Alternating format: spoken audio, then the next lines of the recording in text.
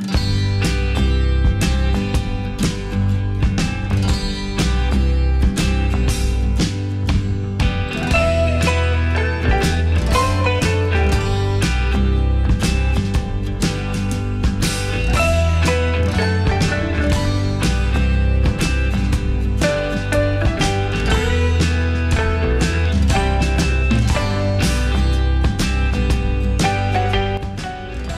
final part of the last 5 miles series, we wave goodbye to Brick Kiln Bridge and once again head east towards Greywell Tunnel. Now as you can see it really is beautiful along here and the sunny weather makes it that much better. As I've said before, here where the canal has water it doesn't look at all abandoned.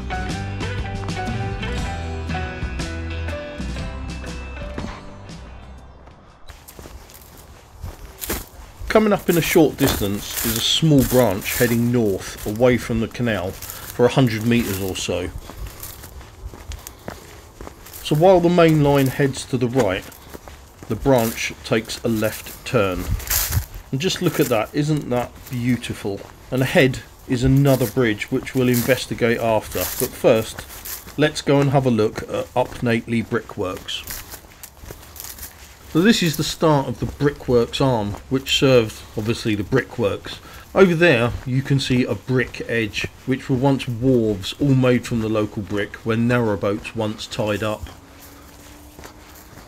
Just prior to the canal being constructed, the original planned route would have followed the arm here, headed north some three and a half miles around Rotherwick, with an extra arm to Turgis Green. After rounding Rotherwick, it would head south again before levelling off to turn east just west of Odiham Castle. However, this met opposition amongst the late 18th century landowners who weren't too enamoured about a canal cutting through their land, and despite being given permission to build, an alternative route was also given the go ahead to construct the current route by way of a tunnel beneath Greywell Hill. So we come to the end of the towpath as far as we can go. But at the end here we got some interesting brickworks and ruins. Now I'm assuming that this was part of the old brickworks. We've got some brick steps there. Now look at those. Aren't they wonderful? And then over here So we've got a wall here with a bit of a, a conduit going underneath. Obviously, that would lead to the canal. We've got some stagnant water in it.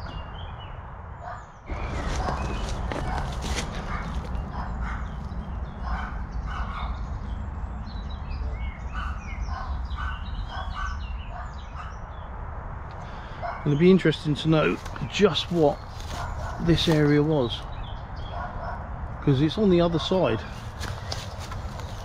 And our wall continues over here. It's not in the greatest state of repair although this tree is ripping it to pieces.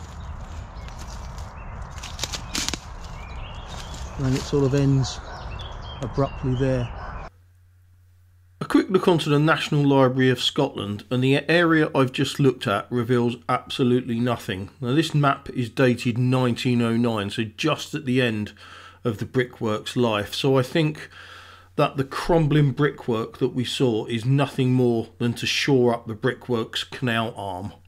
So let's go back up the stairs back onto the towpath and in front of me in the canal we've got two metal posts or brackets.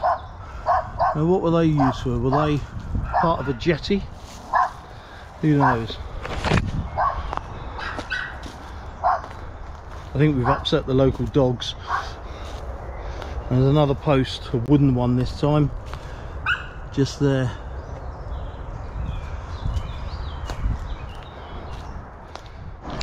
So let's fast forward a bit now.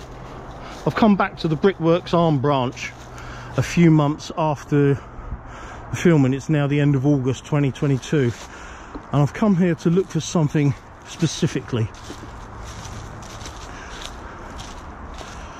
And it looks like it's paid off because have a look at this beauty into the canal which is so dry Now it hasn't rained properly for months and it's exposed this and that is a barge called the Seagull.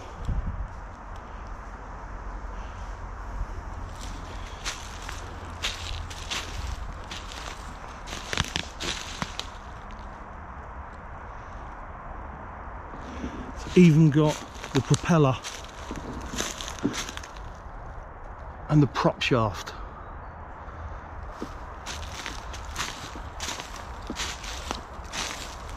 look at that.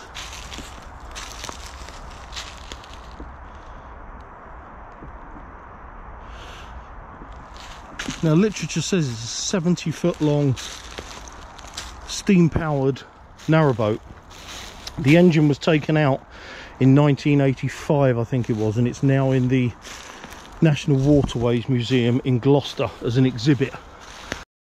And here is the Seagull's engine built by A.J. Bignell, engineers and boilermakers of Stony Stratford in Buckinghamshire in 1890, the single cylinder engine was capable of 12 horsepower and is thought to be the only remaining steam narrowboat engine. But he didn't say what happened to the boat itself. Well, we now know it's still here and that is absolutely brilliant. So starting with the bows of the boat, we've got this lovely bit of ironwork here. I think that nail is in the old bank there, uh, which in part of the wharf. And obviously comes down here and goes down to the bottom of the boat. Would it be a keel on a narrow boat or is it flat bottomed? I think it's flat bottomed anyway. This piece of wood here, which would have been attached at one point, it's all rotted away up here the hull has been exposed just down there. There's a bit of a gap where it's drying out. And then if we turn this way we can look at the boat which emerges out of the mud even more as we go along. And then by the time we get up to here this is the area where the engine would have sat. We've got some metal struts. We've got some more of the hull has been exposed there.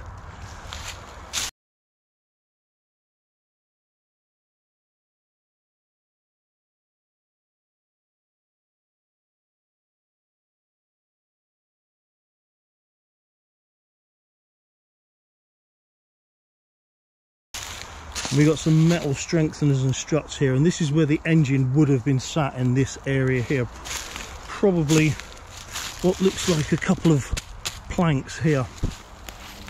And then we got your shaft your prop shaft. And if you look here where the mud has dried out you can see a great view of the hull. And so we got our prop shaft going there we've got more struts and then it ends up with this absolutely wonderful propeller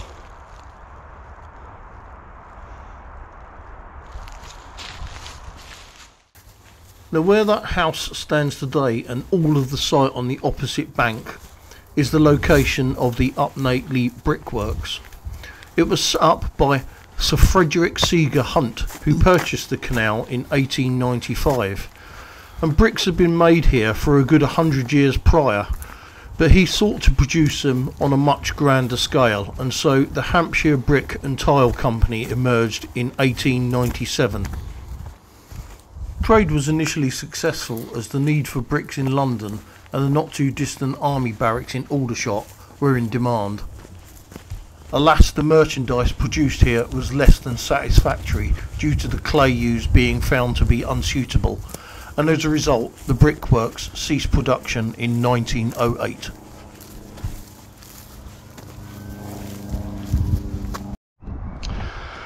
So we'll leave the brickworks branch behind us now and we're going to follow the main line again.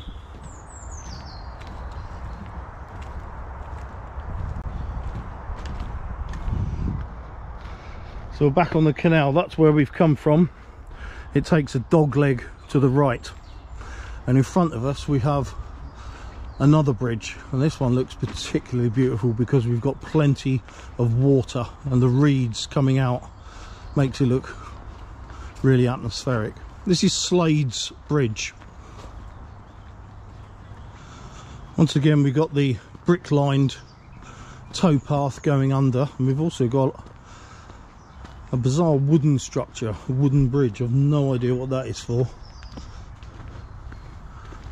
Although I would be interested to know what the indent is for on the other side. There was one on Brick Kiln Bridge. And there's also one here, but these bricks look relatively modern. So is that is that a flood defence maybe?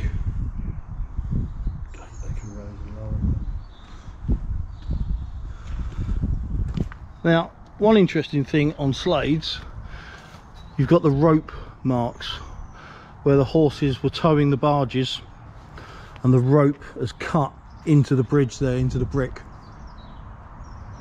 That's a real retainer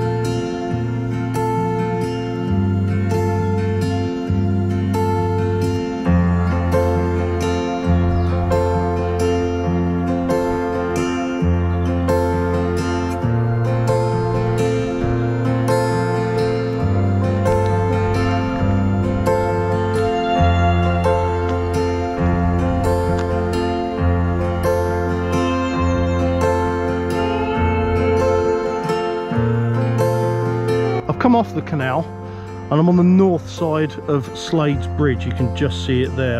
And we're on the road because apparently there's remains of the brickworks that still exists. And I can see it now. In fact, I can see two. I'd only heard there was one, but it looks like there's two. We've got this structure to our right. Like an arch sitting there. I, I may be wrong, but I seem to recall reading somewhere that it's the entrance arch.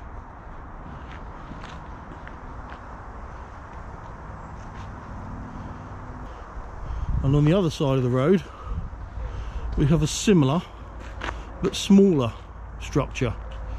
And that seems to be on private land, so we're not going to look too deeply at that one. But this one, I can have a close look at.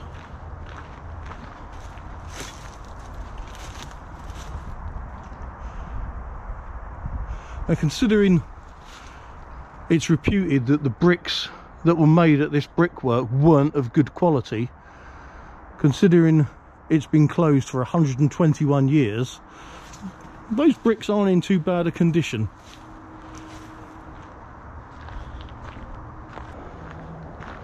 So I'm just going to have a walk through because I'm hoping that there might be a date brick or even a a brick with a maker's mark on it.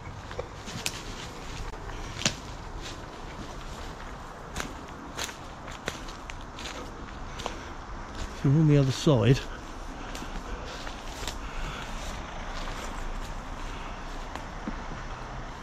And I can't see anything. But even so I wonder why that was left because the rest of the brickworks has long since gone it's been built on over that side, but only very recently. But what was it? Was it the entrance? One possible suggestion, because you've got the other arch over there, the other side of Tony, was there a bridge going over here? But a bridge for what reason? And going where? Because the brickworks was over there.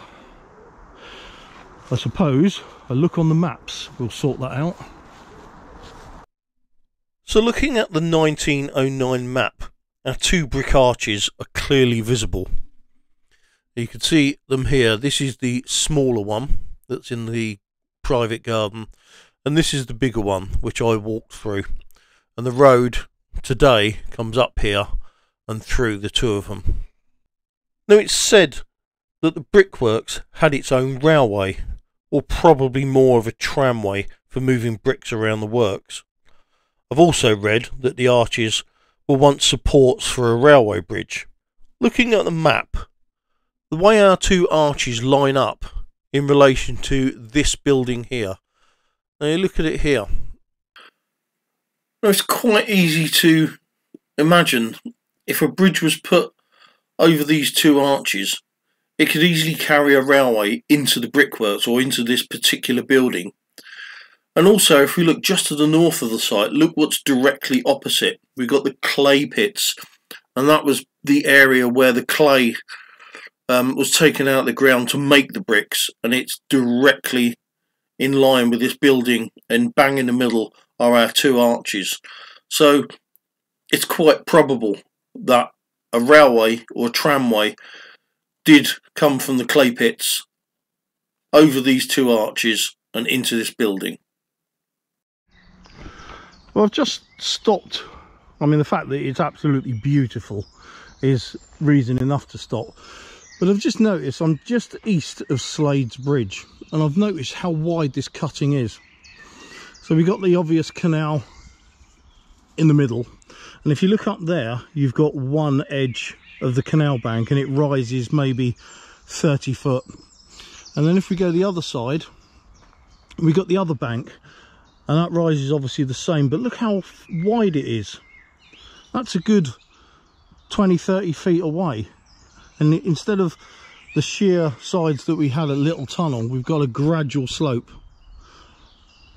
And once again that's that's a massive engineering feat because this this cutting's been going on now for a few hundred yards and continues as far as the eye can see at the moment so if you cast your mind back to the first part of this this series the first bridge or the site of it after leaving Basingstoke Basin by the bus station was called Eastrop Bridge. This bridge in front of us is called Eastrop Bridge and that's the confusing part. Two bridges on the same canal with exactly the same name. Now these bridges are all made of brick so it's all the same sort of construction but don't the creepers hanging down don't they look brilliant?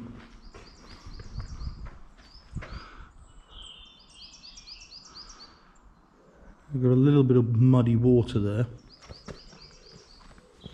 And once again if you look on the the corner of this bridge we've got the rope marks from the uh, where the horses would have towed the barges and this one goes all the way up there. So I'm going to walk up on top of the bridge. Look at all this fantastic wild garlic growing either side of me. If we had smelly vision you'd certainly be able to smell it as well. It's absolutely beautiful. So here's the the road on top. I think it's just an occupation bridge farmers crossing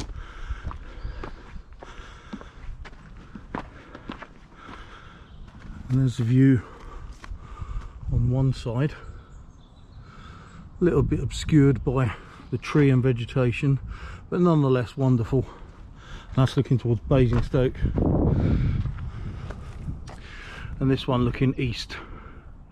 Once again quite obscured by vegetation. There is water down there I can assure you of that. Not much but there is water down there.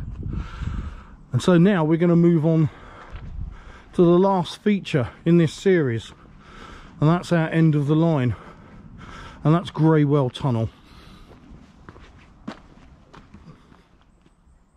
Now look at the look at the depth of this cutting and the width of it. It's got even wider and even higher. That's got to be 40 foot plus over there. It's very deep it's as deep as the cutting as we go east from Old Basing just as we pass Cuckoo Bridge We've still got some water in there, although not a great deal. But look how picturesque and beautiful this is. And then we got the other bank sloping up there, past all the wild garlic. This place is absolutely stunning.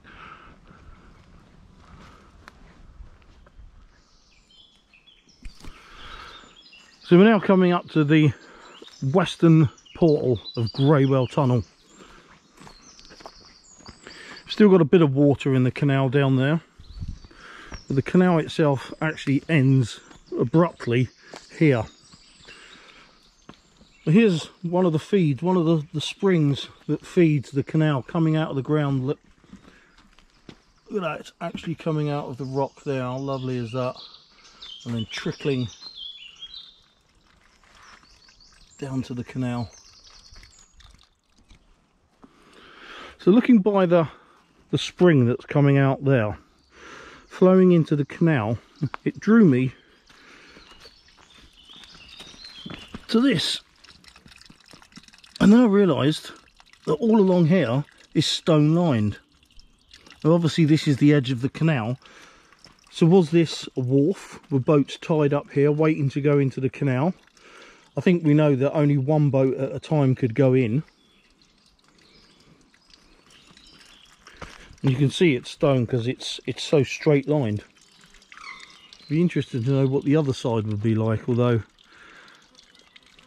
in fact I can see just over there some stone as well. So it's it's too narrow. It's far too narrow to be a tying up area. It's probably just a strengthener to keep the walls of the cutting falling in. A very wide cutting, very shallow slopes again. And if you look here, these these bars have actually been inserted, obviously long after the canal closed, to keep the stone walls from collapsing in. So this is one bank here, which is stone lined, and that's another bank that's stone lined. So it's very narrow, just enough room for one boat.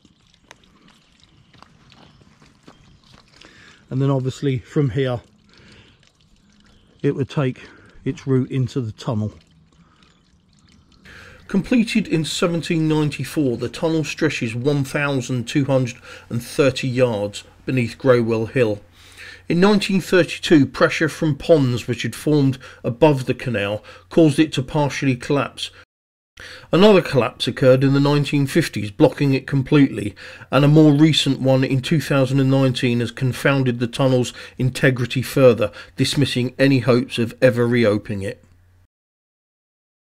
So coming round to the side of the tunnel, we've got more brickwork there.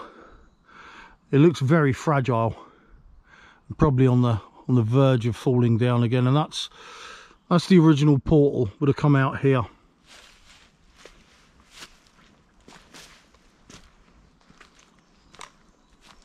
most of it's now encased in moss it doesn't get a lot of sunlight here only in the summer really but all that is brickwork under there. But where the trees have grown into it it's dislodged all the bricks. And you can see there on the edge how precarious they are. And bearing in mind that would have come out quite some distance. Unfortunately the tunnel and the portal long gone. Let's have a look over the other side. We've got these bricks up here equally as precarious. And if you look in the ground you can see quite a lot of evidence of bricks. We got some down here on the floor by the spring and over there in the spring. These are all parts of the tunnel.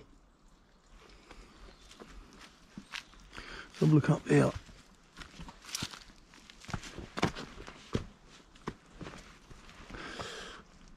So we've got these, you can see a few more in there. From every different angle you can see more of the brickwork. But most of it has now been covered over with vegetation. Let's not forget that this canal hasn't been used for over 110 years since the last boat came through here and that was in 1912. Sealed off today, you can't get in there unfortunately or fortunately whichever way you look at it but you can see the portal shape. We've got a couple of boats in there. If I shine a torch in there, the light's going to be diffracted away because of the daylight. So what we'll do, we'll come back in the darkness and we'll see if we can get some better results.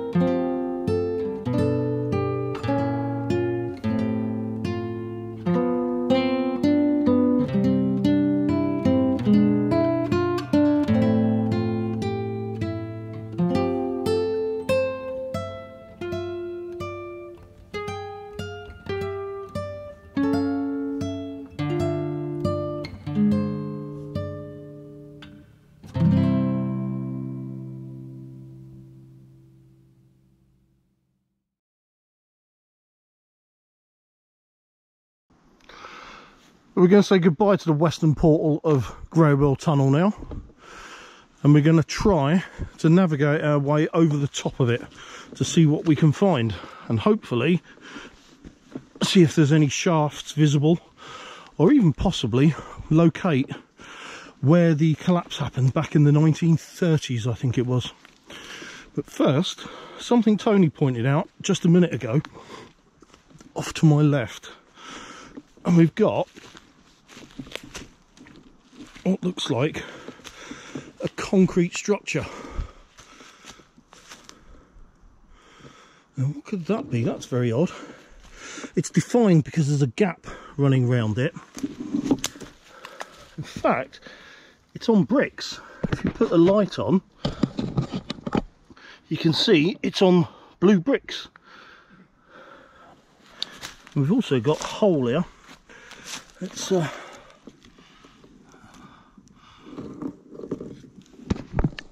well, that's quite deep. In fact, you can see brickwork going down about eight or nine courses. So I have no idea what that is. And this looks, this stone here looks worked. Is it anything to do with the tunnel portal? In relation to the portal, originally it was there, today it's around here. So it's running slightly behind our anomaly. Must be something to do with the canal though. Let's continue.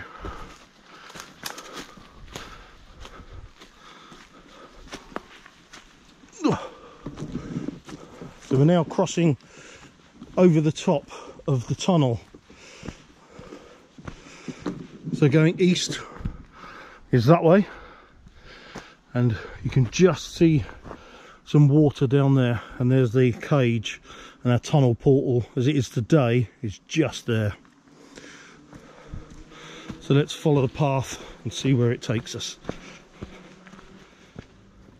So it looks like we're in the middle of nowhere and that's exactly how it feels. The western portal for Greywell is over there beyond those trees we've walked on a west-east alignment away from the western portal. As best we can we think we're bang on. But what we're looking for now is the where the cave-in happened. Now this area here you can tell by the ground it did contain water but it's because we're in that in the drought it's dried out considerably which allows me to walk in this bit. However if i turn the camera around walking in this dry bit we still got a bit of water here. And whereas this is relatively flat what we have here is a very sudden drop in the ground. And if you look at the edges something like that can only be either man-made or something catastrophic has happened where the ground has given way. It doesn't look natural and that it looks like a sinkhole of some description where what was on top and it's stated that the, the collapse happened because of water build up on top and the weight caused the roof to collapse. This is the sort of thing if the roof collapses and, and the ground gives way it will drop and it will create a sinkhole just like this. I think we're pretty bang on the alignment of the of the tunnel which I'm certain is down there. And I think if we look on maps, particularly on LiDAR, that might confirm it. But if you look at these edges, they, they're very sheer. They're not, you know, it's as if something has very quickly given way. And the pond or pool sort of stops there. And in fact, if I look over here, bearing in mind we're still carrying on a west-east alignment so let's stand here. There's our pool that I was just on the other side of. That's west. If we turn east we've got another one here and it's of exactly the same geographical or topographical. The, the sides, it, it looks as though it's collapsed very quickly and created a sinkhole. And as I say, unless it's man-made, and there wouldn't be a shaft this close to the, because they're only a couple of hundred yards away from the western portal. So I think we are on top, or right bang on with the the tunnel collapses. Here's the map from 1910 with the western portal of Greywell Tunnel here and the tunnel itself marked as it heads east. Now let's switch to LiDAR and this is where we were stood and the place where we think the collapse is located. So if we mark that position and then return to the 1910 map and you can clearly see that we were indeed in exactly the right place. So there you are, we've found the site of the 1932 collapse.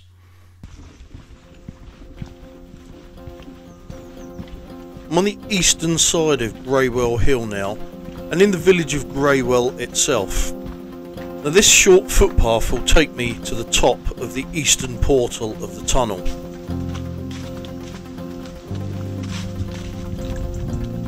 Just coming up to the top of the portal now. So here we see the canal heading east and about a quarter of a mile away is a boom across the water which signifies the navigation limit and from here on the Basingstoke Canal is an operating canal once more. Now continuing along here will take me onto the towpath. So we turn right here down this hill a little path going off to my right, you just see it there. It's quite, it's a bit hairy at times, particularly when it's wet, as it has been. So I've got to take it easy, I don't want to lose a limb.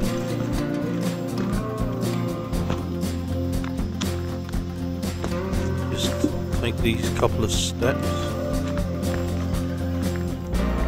And there you can see the eastern portal of Greywell Tunnel and the end of our journey.